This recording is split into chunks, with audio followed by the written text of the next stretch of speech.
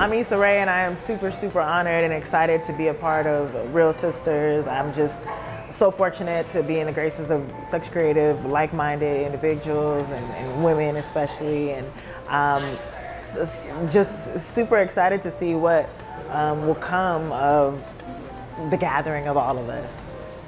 Thank you guys for bringing me out here. I'm, I'm truly honored.